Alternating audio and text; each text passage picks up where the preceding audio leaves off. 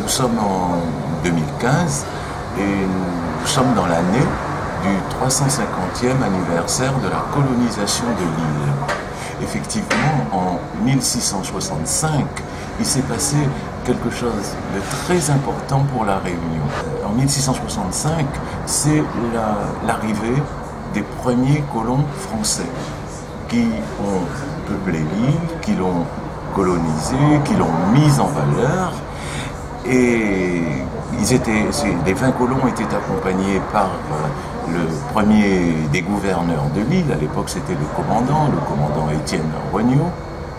Mais malgré tout, euh, cet euh, événement, on peut le rattacher à ce qui s'était passé en 1663 à, la caverne, puisque à la caverne, lorsque les, les dix malgaches arrivés avec Louis Payen se sont enfuis dans les Hauts, en 1665, ils ont rejoint les colons d'Étienne Regnault. Et c'est à ce moment-là que le, peuplement euh, a pris un nouvel essor. Donc 1663, arrivée des Malgaches et des deux premiers Français.